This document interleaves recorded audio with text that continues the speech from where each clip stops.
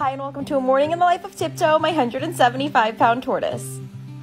The weather still has Tiptoe waking up bright and early, so it's about 7:30 and he's ready to roll.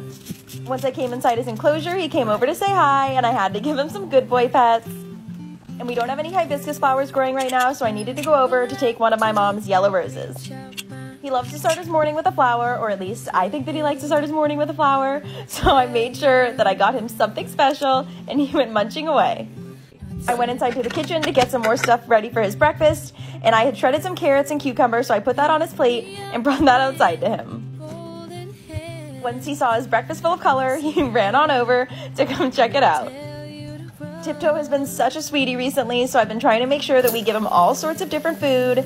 I cleaned out his enclosure a little bit while he was eating. He had to check it out.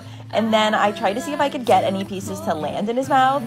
We had some snuggles and then ended with a butt scratch.